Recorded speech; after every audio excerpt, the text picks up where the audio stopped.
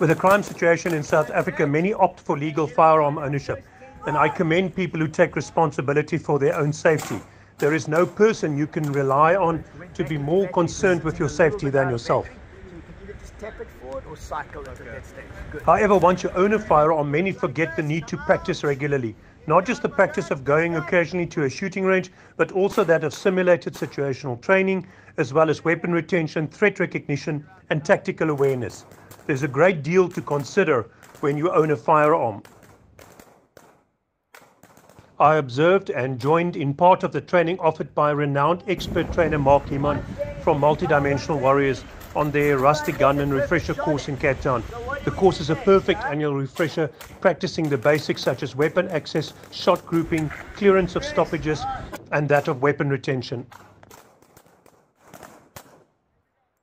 This was a very informative session that helped reinforce muscle memory, and I recommend this for anyone who wants to ensure that they stay ready to protect themselves or their loved ones if the need arises. Those interested in joining their upcoming courses, follow their Facebook page on the link in this video.